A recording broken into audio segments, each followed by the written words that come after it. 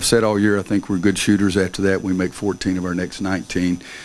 And it is. It's it's funny that I have to say it all the time, but I really do believe that our defense got better when we started shooting the ball in the basket too. We started forcing a few more turnovers. Uh, they turned it over in the first half and gave us a little bit of edge. We tried to turn it over in the second half way too much, but uh, made a bunch of threes there. Uh, Garrison again, five for six, and he only shot one time in the second half. Uh, but I think his defense was good for us as well. Had to congratulate them. They've only got like eight guys. They only had eight guys warm up. It's it's hard to do that over the course of the game. As fast pace that we like to play, they like to play fast without the bodies, and uh, and it helped us. No no question, it helped us for Robinson and. Uh, uh, Alexander Walker to get uh, three fouls in the first half. That was part of the big run we had at the last part of the first half. But uh, I like uh, five guys in double figures. I like uh, 25 assists on 36 baskets. Um, I don't like 10 turnovers in the second half, but I really enjoyed watching uh, uh, the tapes of Buzz's club. I think he's done a fantastic job with short numbers and, and, and, and not enough size out there. I was worried to death about the game because I think that they're really, really good, and uh, they showed it the first few minutes, and then we went crazy for a while, and then that uh, that was it after that.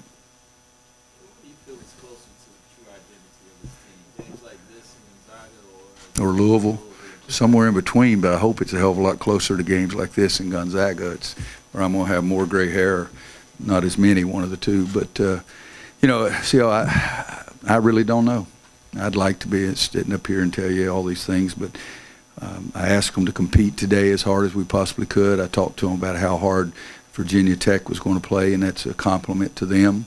And told them that we'd better be able to match that and not expect the home crowd to do it. But uh, uh, I, I do like it when the ball goes in the basket, and I'd like probably all except two or three shots in the first half. But you know, if you're if you're a shooter and you're going to shoot threes, you know what you're supposed to do: make some up. You know, you start one for 12, you're going to lose for everybody. And so, I think they sped us up a little bit with uh, their activity, and we rushed some of those shots in the, early in the first half. But uh, other than that, you know, Coby's five for 11, uh, Luke's four for five. Sears two for three. You know, he hadn't shot it well in a long time, but uh, I really felt good for him about those two threes. And he took the ball to the basket, and uh, uh, last three games he's uh, started feeling a little more comfortable, a little more comfortable. And uh, his defensive grades the last two games have been the best defensive grades he's had all year, so that might be giving him a little confidence too. Roy, after falling behind by nine early, freshman um, for the next 18 points, is Well, what what are we? 15 4, so it's 19 games. That's that's quite a few, quite a uh, few of the opportunities to go and play. You shouldn't still be a freshman. Uh, I think uh, that Coby's done some really good things for us this year. Nassir has been amazing. Last three games, I mean, to ask how many fouls he had tonight, he had zero. Uh, at Miami the other day, he had four and only played 15 or 16 minutes. So it helps when he's not in foul trouble. But and Leaky hadn't played as well as I wanted. But how about first plays in, he doubles down on the post and steals the ball, and we go to the other end. He, he's the one that found Coby on a three during that uh, stretch there. So I think all three of our freshmen are going to be very good players, and I think that they'll continue to get better and better.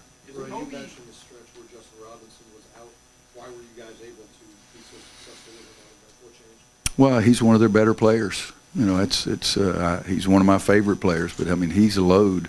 He pushes the pace. He distributes the ball. He scores himself. Uh, what he end up with? 17 points, uh, uh, six assists. Uh, he's three for four from three-point line. I mean, he's really a good player. You take Luke out of our lineup or somebody like that, we're not as good either. But uh, him getting the third foul, and I thought he should have gotten the fourth one on the play that they didn't call the foul. But he's competitive as all get out and tried to block Garrison's shot. I think just getting more comfortable. I've been telling you guys all along that he's coming, he's coming, but it's just some guys it takes them a while, a little while to get more comfortable than other guys. But uh, uh, the defensive end of the floor is what I'll point to again. His best grades were the last two games, and I would bet he's probably.